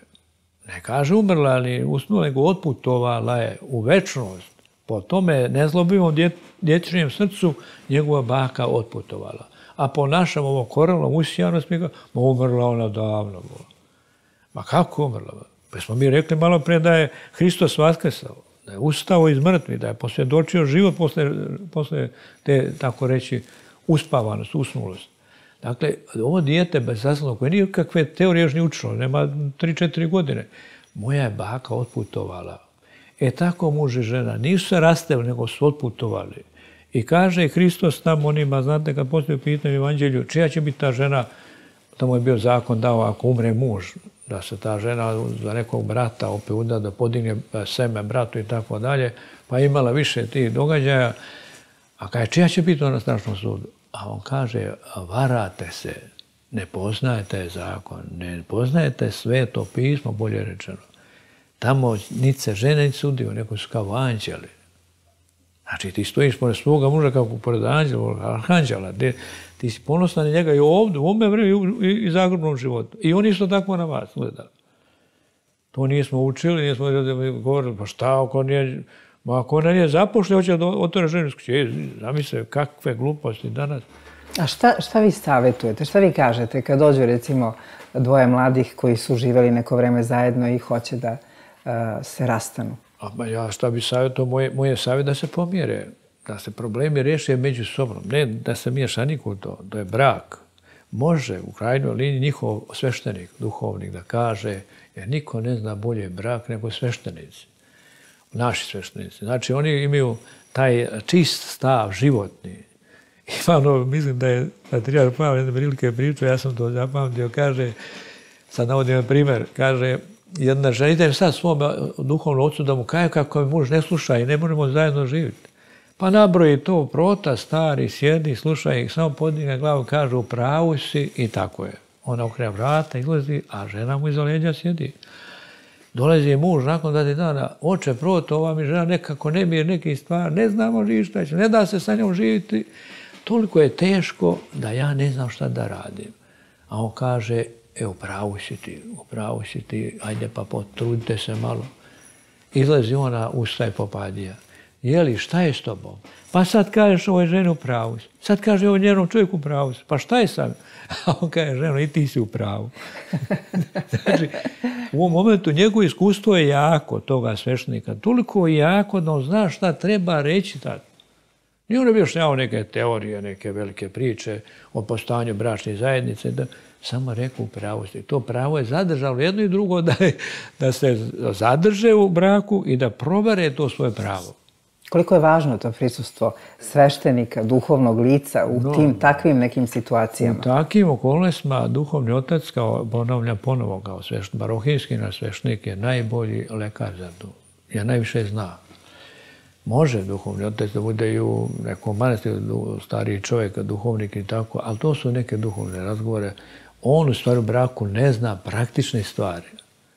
A ovaj zna čovjek i šta je dijete, i šta je sin, i unuk, i praunuk. To je čovjek koji nosi trno venac na glavi svoje sve od početka, ali nikad nije klonuo duhom. On je sveštenik Boga svevišnjeg, on je večni sveštenik. Nije samo ovo vremenu, on je, kako kaže sveto pismo, on je sveštenik vavijek vijeka počinu Melchisedekov. To znači, nema kraja za njega. I zato je on velik. I zato se sveštenik nikada ni u šali se ne smije sveštenik ovaj pocijeniti ili zapostaviti. Uvijek napominjem da znamo, jer tako hoćemo imati blagodat života na nama, naši svešteni oci su veliki ljudi. Ako ne znamo, nije problem da naučimo. A vi, monasi, najmanji e, među ljudima, tako sebe doživljavate, a veliki onoliko čim e, postojite u pa, manastirima. Jesu, najmanji su, oni su stvari mali, kako vam rekao, to su dobrovoljno izabrali tu malenkost. A kaže Hristos ko se u, u vanji smiri ovdje u svetu Jađ Guzdići na visoki stepen života. Znači, monasi su pošli da se smire, da pobede sebe, pa onda ako je moguće malo ljudima da pomognu oko sebe. Kao što sveti Serafin Sarovski kaže, ako postignete smirenje u sebi, onda ćete i oko sebe spasti na hiljadama ljudi. To je monaški obraz, to je želja monaka ne da uzme neće ništa, nema šta, šta će mu, ne treba ništa. A kad kažete uh, mimo nasi imamo naknadnu pamet, pa, šta to znači? pa to su nekad starešine kad su bili ovaj paše iz Ubeše, oni kad razgovaraju pa kaže jedan od starešina, kaže, raja mi je ova dobra, ali da mi je, znate, onu drugu pametu ima što ima. Znači, ta druga pamet to je blagodat Božija. Milost Božija, koja u stvari ne da da paneš u očajanje, u nevolji, da ne da da izgubiš poslušanje prema svojim starešinama, prema svojoj otežbini, znači državi, prema svojoj crkvi. To je ta druga sila, snaga koju mi ne vidimo. Ona je uvijek prisutna, ali je nevidljiva. I tu je rekao taj starešina, neki bek bio Konstantinović, pa je razgovor vodio sa više ljudi. Pa ga na njega zagalamili da je porez težak, da ne mora narod izdržati. A on onda onako smireno, starešina, pa kaže, e da mi je, kaže, pa ona druga pa me trajna, lako bi ja vam odgovorio. znači, uvijek su ljudi misli, znaš, duboke stvari, na dubinu. Površinski se časkom pređe to, ali dubina duše, dubina srca se ispituje vremenom i životom i na kraju dosta ljudi ne mogu to shvatiti. I ostaje onako da Božja promisa otkrije to na velikom, pravadnom, strašnom sudu koji će neminovno biti. Kao što, recimo, ima taj vid, naš očinji, e, i kažete, eto, nabavljamo razne naočare, raznih boja i dioptrija. Ali za onaj unutrašnji vid, gde su nam tu naočari prave? I kako se otkriva taj vid koji imamo sigurno svi e, pa to je, iskru u nama? To je u teologiji su to nazivali ovaj, takve naočare, koje smo reći tako priprosto, ali uglavnom prozorljivost ljudi proziru u dubine vremena i prostora i u dubine duše ljudske. Bili su ljudi, tako ima i danas, recimo u, svijetu ljudi koji osjete šta bi trebalo toj duši koja u stvari vapije za večnom istinom, koja a nema recepta toga, nema, nema još dijagnozu stanovljenu, kako bi rekli lekari. I onda se njemu duhovnik, njegov, taj starac, koji se moli Bogu neprestano da mu pomogne, da on pomogne ovima ljudima koji, koji traže pomoć, onda oni njima kažu tvoj to ti uradi, bit će dobro. Mi smo često preporučivali ljudima da čitaju psaltir cara Davida. Psalmi su stvari namenjeni za sve probleme. Tu ima 150 podeljenih psalma. Vi posebno pominjete 50 i 90, je li tako? Da, to su psalmi koji se stalno događaju, stalno se obnavljaju. I ostali se čitaju stalno, ali uglavnom manjima nego. Ovi su prisutni kao disanje. Ne znam da li ste imali priliku onaj što su ruski ljudi, teolozi, ovaj, monasni imali ostrvo. Kako da ne? E, vidiš, kad onaj monah vodi kolica, puna uglja i sav je umoran i čak ima neku tuberkulozu, kašlje i hoće umrijeti, a onaj arhimandrit pun sebe ozgo nabuš, nako i če, daj to, brže, tako to ne ide, on viče dolje, pomiluj me Bože, po velikoj mili sve. Pomno 660, to je za konji moje. ovaj kada pa ne vredi, ja priču, ne priču, on ide svojim kolicima, ima svoju molitvu. E, to je znači 50. psalam gdje čovjek ispoveda sebe pred Bogom, svoje slabosti, svoje nemoći, a ovaj arhimandrit je bio zadužen za celu ukupnim poslom, imao kad se sluša šta ovaj vidi nešto broji, kad ja nema tog ništa. I da im ja kad vidiš da je ovamo zastojen, on vodi celu ekonomiju manastirsku, znaš. To ga postavio episkop, vladika ga tu je postavio. I on mora u stvari da vodi ovu drugu stranu. Ali je ipak priznao da ovaj monah ne čini ništa lošo, ima samo neku molitvu i on ne čije dobro gore, što mu je daleko od njega. E, znači, mi se molimo Bogu s tim psalmom, da iskažemo pokajanje svoje kao što je naš pravotec David kazao kroz taj psalam svoje pokajanje. Jer prorok Natan kad je s njim razgovarao kao sveštenik sa, sa, sa svojim duhovnikom, duhovnim čadom, David je bio car i veliki čovjek i ostao do, svu, večnost. Pamtit će ga svi narodi, nema tu nikakve dvoumljenja. Ali vidite, ipak je osjetio da je nešto sagrešio i traži svešnika da mu se ispovidi. A to je bio prorok Natan koji ga saslušao i rekao, Davide, vaš greh je tašno, strašno težak, moralo bi tako da epidemija od tri dana, ne znam, da bi običaj da se na patos, odnosno zemljani patos leže, da se pospe pepelom, prašinom i da se čeka. Međutim, nakon tri dana on je rekao, oprostio ti je gospod. On je poskočio i zaigrao kao da je stigao u kulu neko od radosti, jer je oslobodio se greha, te težine na savesti, svjesni i tako dalje. I onda on pita proroka, a šta bi ja mogao Bogu sad učinem kao car, da nešto uzvratim, nešto dobro, da napravim jedan najlepši hram na svijetu, pa da bude, kaže, to nešto od mene prema Božjoj milosti. Kaže, prorok, može. To ćemo, evo, i kada krene David nekoliko koraka, stani kada Bog mi javlja da ne može. Znate, Bog je vrlo čudan. I kaže, nego on je imao problema, znate, David je i ratovo i borio se i imao sa ženama neki tih sukoba i tako. A onda kaže da ćemo njegovom sinu da napravi to što on zamislio. I zato je Solomon napravio najlepši hram na zemaljskoj kugli tad, u to vrijeme. Svi narodi svijeta se sabirali u Jerusalim da vide to čudo arhitekture, umetnosti, lepote i 40 nešto godina on to pravio i dotaro lepota nad lepotama. Koje je Guj došao, nije mogu odmah se vratiti. Ostaje ceo dan da razgleda, pa drugi dan, pa treći. Tako da je, kako kaže istoričar biblijski, skoro i nema tad poznatog naroda koji nije došao neko njih presne da vidi to čudo od građevine.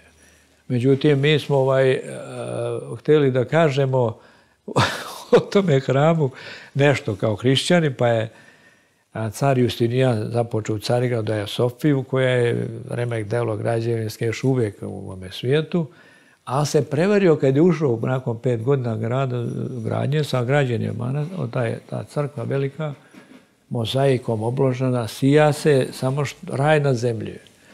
A on kaj ulezi na vrata i kaže, e, ipak sam te Solomone nadmašio. E, to ne valja. E, to ne smije tako. to, mu zamjerili i sveti oci su o tom razgovarali često.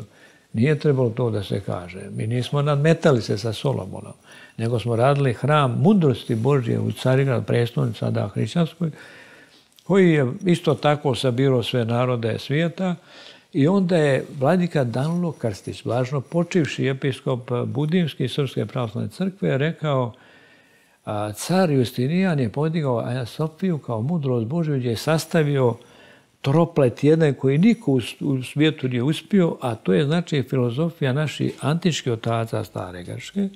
Onda je sastavio vjeru Izraeljevu jednog Boga i sastavio je univerzalnu državu Rima u jedan taj troplet.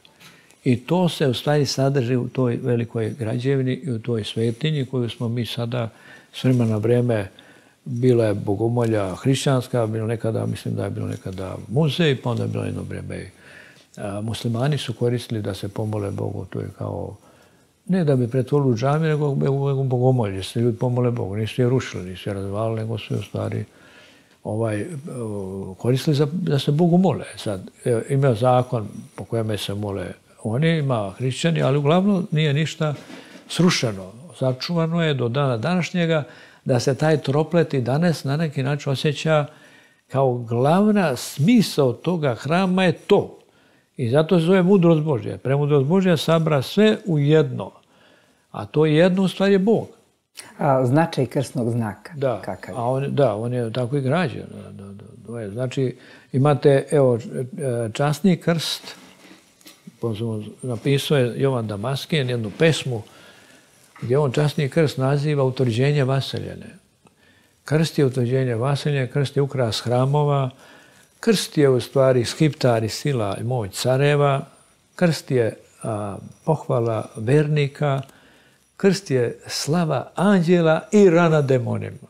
Tako je napisao. E sad, svakoga petka na jutrenje mi tu pesmu čitamo.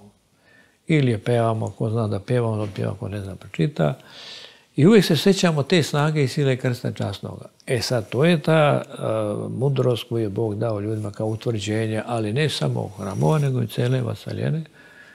I mislim da taj četvorokrakni znak sabira sve četiri strane svijeta u jednu tačku koja se zove hristocentrična tačka. Gdje Hristos caruje kao car nad carema, gospod nad bogovima i on je u stvari bogo čovjek. U njemu se sadrži punoća božanska i čovječanska on je jednostavno po to teoretskom izrazu pravoslavni katolici ga nazivaju, kratko rečeno, bogo čovek.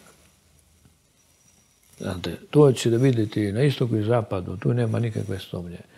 E sada se molimo Bogu da taj bogočovečanski duh i sila časni zaštiti i nas, ljude, od različitih problema, naravno zli duhova, a onda i od zli ljudi. Tako da možemo računati kad smo već kršteni u ime Oca i Sina Svetoga Duha, da možemo ovaj, imati taj oslonec na, u krstu časnome, kojem je Bog dao, Gospod Isus Hristos, životvornu silu. Da oživljava. Znate, preko njega sa krstom časnim, blagoda Duha Svetoga deluje i svešnik osvećuje krstom časnim mnoge stvari koje su poverene njemu, Čak ovaj episkopi hramove svećuju krstom časni, vodom blagoslovenom, normalno priziv duha svetoga na to. Imate ono u pesmu, obe u psalmu, ne moramo bez psaltira ništa. Kaže, vrata večnog zvisite vrhove svoje uče car slave. A ko je taj car slave? Car slave je Bog, Gospod Isus Hristos. On ulazi kao car slave sa znamenjem časnog krsta. To je njegovo znamenje. To on osvetio, to on dao silu njemu. I kada kaže svešnika da sveće, odnosno episkop osveće hram, on kaže, onome dade mu čekić, kaže, udari vrata drvenim čekićom, a onda ovaj drugi viče, vrata vječna uzvisite vrhove svojuće car slave, pa ko je taj slave? Gospod nad vojskama. Znači, e, imamo tako ovaj, ustrojstvo u našoj crkvi pravoslavnoj, širom vaseljene čovečanske, da možemo slobodno da kažemo mi ne moramo naći bolje, nema savršenije ništa, jer je Dostojevski o tome govorio, ako išta ima savršenu istoriju čovječanskih svjetova, to je Gospod Isus Hristos. I ako hoćete mi vjerovati, ostavite me sa njim. Ako mislite da to nije tako, ja bolje ne mogu pronaći u svim svojim istraživanjima. On je sve za savršenstva. I tako sad imamo o tome bi mogli pričati. Sve se događa po Božjem promislu, stradamo mi, strada čitava planeta od ove pošasti. Kakav je smisao stradanja? Pa sad vidite ovako, ima stradanja koje imaju smisla, ima koji nemaju smisla. Znači, stradati za ime Božije, za Boga, za vjeru pravu i za to stradaju mnogi narodi, čak i ljudi, ali znaju zašto stradaju. A kad stradamo za nešto što je na neki način primitivno i nebitno toliko kao što se dešavalo na primjer usred nekih e, interesa koji su tako prizemni, plitki, da bi sad neko za to stradao, onda tu i treba to sa ljudima dogovoriti da to ne bude tako. To, je, to nema potrebe. E sad, ovaj sad događaj koji je zadesio svijet u kojem se na neki način još uvijek dovoljno neobjašnjivo desilo da je celo čovječanstvo zahvaćeno jednim virusom kojem se mi ne moramo suprostaviti. I ne znamo dok ne može trajati, ne kad, kad će da prestane, kad će da stane. A radili smo da znamo. Vidite šta je ljudski razum. E, znači, taj razum naš toliko je radoznal da on uvijek kopka po svijesti naše i kaže, znate, to će trajati, ne znam, do februara, do marta, ne do aprila. U stvari, to je razum. A um ne odobrava tu njegovu priču. Zato se oštrumni ljudi u to ne ulaze. Oštrumni ljudi vjeruju da će to stati kad? Ma uopšte me ne interesuje, to će nestati. To mora da nestane. I nismo opterećeni s tim. Međutim, apel je stručni ljudi da se čuvamo. I to moramo poštovati, tu nema govora. Da se čuvamo koliko je to do nas, znači do ljudi. Tamo ima neka sredstva, vidjeli ste, treba zaštna maska nekada, nekad treba recimo u liječenju da se prihvati, ne znam, kiseonik, tako dalje. Ali da se čuvamo i dalje. Jer to nije znak da je to kraj. I zato je rečeno davno i davno, postite i Bogu se molite da ne padnete u napast. I kad smo to govorili, ne ja, nego crkva sveta koja govori, jedna, jedna vaseljenska reč. Pa znaš, ko će to postiti, još pogotovo, pa da se ne pije ni alkohola, pa da se malo uzdržimo, da ne bi palo napast. A ovo je jedna napast, ali ne znamo okle dolazi. Ne znamo gdje je gnijezdo, da bi mi to nekako ispriječili, a ne može, ne zna se. Samo misliš da vazduh zagađen, šta je sad? I niko ne more kaj je to, to je tu i tamo, desno ili levo. Nego to je jednostavno, kako bi rekao, jedna eksplozija iz koje ne znamo gdje je taj vulkan. Evo negde za ovaj, pred kraj, uh, setila sam se divnog oca Radovana Bigovića, koji je jednom prilikom na nekom skupu rekao kako bi volao da možda napiše jednog dana knjigu o tome kako su neki ljudi živeli, a kakav je bio njihov kraj. I nije to uspeo da napiše, dragi otac Radovan Bigović, međutim, ta knjiga bi bila od velike koristi kakav život živimo, a kako završavamo. Vi ste verovatno bili svedok takvih priča. Šta mislite da, o tome? Da, ima, ne ja, nego istorija je svjedok tih zbivanja. Od prvih ljudi počne, pa vidjet ćete da ima, dobro je rekao otac Radova, mlažno počeši, mogu je napiše knjigu, ne samo on, nego knjige o tome. Ako vidite da početak čovječeg života je vrlo lep, počete od rađanja, od razvoja djetinjega, pa je čak i ovo Jovanović napisao e, naj, od, od kolijepe pa do groba najlepše je đačko doba. Znači taj početak e, osnovnih slova, pisanje, pa onda razgovora sa majkom i tadom, kako skup knjigu, kako smesku, pa onda tek dolazi recimo zrelost godina 80. i 90. kad on ne zna što i da je bio tamo u toj školi. e sad, to je, to je zanimljivo i mislim da smo ne obuhvatiti u, u, u nekoliko riječi, ali ovo je važno. Kaže, kraj e, ili konac, a život krasi. Znači, završetak. I apostol Pavle kaže, ne pitaj me šta sam bio, ne gledaj šta sam sad. Pa navodi neke svoje primjeri života da je bio ovaj, tako nastrojen, tako njegovo stanje, da je po svemu ispunjavao sve zakone od našeg vremena, da je on porijeklom od naroda velikoga, da je on stvari farisej po politici, da je građani Rima, da on stvario po revnosti gonio crkvu Hristovu. Znači, kad vi pogledate, pa to moguće da taj postao sad apostol. E sad, kad je pred damaskim vratima, ono, znate, doživio onaj udar svjetlosti da ga zaslijepili pavo s konja, on je odmah znao da je neko jači od njega. Ne rimska država i ne, recimo, poreklo njegovo i političko opredeljenje, nego sada Neko je strašno velik. To mora biti Bog. Ali Bog kojeg ja nisam dočekao tako silnoga. Će on mene udariti tako i zaslijepiti me oči ne vidim. I on kaže, pa Savle, Savle što me goni, šta je? Pa kaj gospode, sto, e, sto ti? znači, sad u ovom slučaju treba naći snage u sebe, ona postoji negde u, dubini duše, da upitaš ti ovo što on upitao, gospode šta sada radim? Jer ja ne vidim, ja sam sad slijep. I onda on kaže, Evo tu bi tu čovjek odvete ga tamo koga malila, toga nikog kako ga se zvali, da se pomoli Bog ne da progleda, pa onda ćemo lako. E sad kad je on progledao, on je više nije bio Savle, on je postaje Pavle. On sad ne goni nikog, on sada čak šta manje više strada neviđenim načinima iz više perspektiva, to je da ne bi se nabrajali, znači uzimamo njega za primjer, početak njegov bio lep, kao i ostale djeca, razvijen, intelektualno jak i da neka genijalno pametan, nikakve mane nema. Ali šta se onda ta sva snaga usmjerila? Da goni one koji nismo njegove mjeri.